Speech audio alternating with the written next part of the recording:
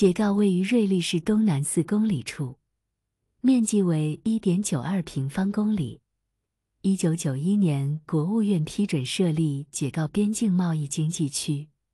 如今，解告已成了著名边贸口岸。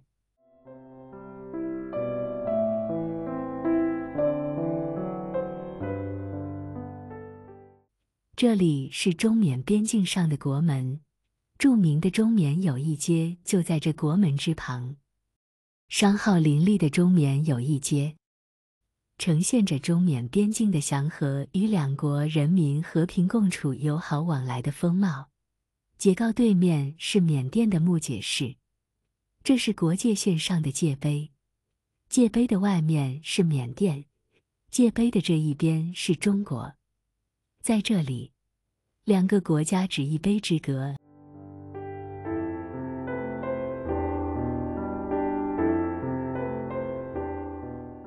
这是位于中缅边境的瑞丽江，江水横穿解告之后，流入缅甸境内，因此当地流行着中缅人民共饮一江水的佳话。这是瑞丽江大桥，出口缅甸的物资。都要从这座大桥上通过。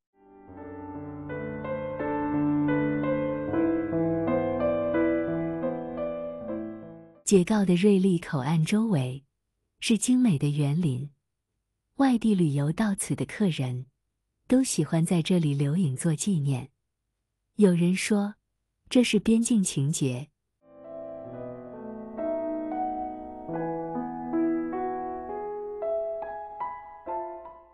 在边境口岸的旁边，有一座小乘佛教的寺院。小乘佛教是公元十世纪左右从缅甸传入云南的，因此小乘佛寺也被称作缅寺或藏房。寺院的殿堂中供奉着佛祖释迦牟尼的圣像。结告边境口岸上的小乘佛教寺院，以其庄严肃穆的风韵。为商贸氛围非常浓厚的小镇增加了一道宗教文化的风景线。